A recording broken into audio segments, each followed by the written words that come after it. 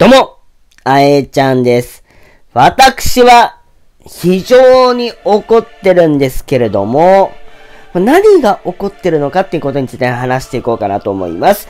まあ、昨日の皆さんどうでしたか？ペロスペローと新マルコっていうことで、ガチャ引きましたでしょうか？まあ、自分は150連してマルコが2体出ましたっていうことで、もうすごい爆死だったんですよね。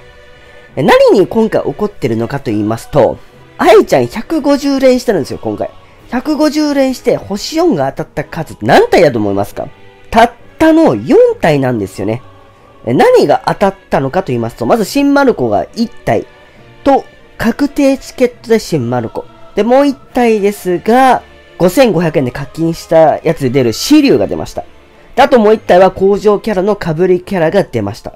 それ以外何も出てないんです。もうそのガチャ、動画撮ってるんで見てほしいです。では、どうぞ。とりあえずガチャを見ていきたいなと思います。で、今ね、250個あるんですけども、50連を最初に引こうかなと思いまして、もうしょっぱなからですね。まあこれは10連、20連は当たり前だと思うんですけども、まあ、これ爆死なんですよ、もちろん。これは分かってます。な、2回目行きましょう。はい、2回目も何もないと。で、最後金と、最後は何もないと。はい、0体。ここが20連爆締め。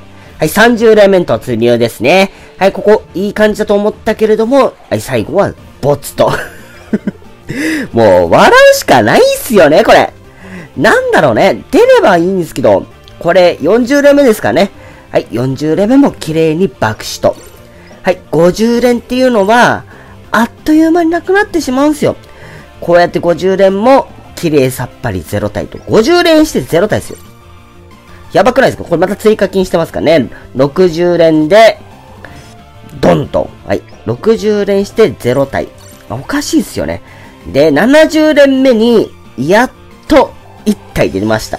で、それが1体出たのが、工場キャラのカッパッパになるんすよね。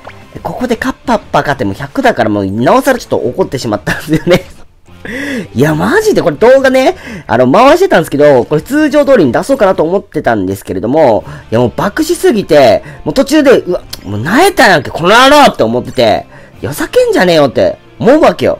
だから150連して、え、確定チケットの1枚の1体と、新丸子1体と、この工事キャラ1体ですよ。150連で、えって思うよね。